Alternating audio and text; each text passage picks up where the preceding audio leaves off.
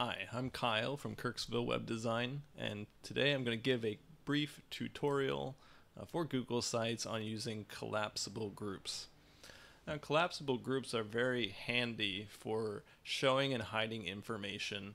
Uh, typically, when you have a, a bulk of information uh, that you need to be able to toggle between showing and hiding it, just because it would be overwhelming to have too much information on the page. So typically collapsible groups can be useful for uh, FAQ sections or uh, Wikipedia type of pages.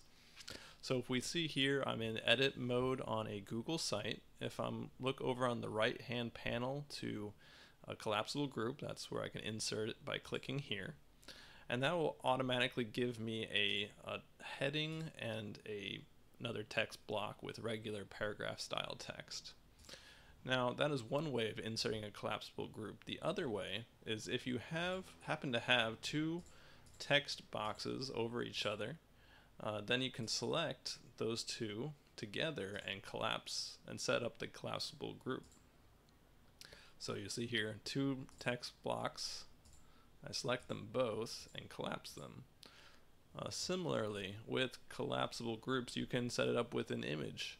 So we could have some text in here, select this block and collapse it. So then we get a an arrow which indicates you can select this image uh, in view mode and expand it to show the text below.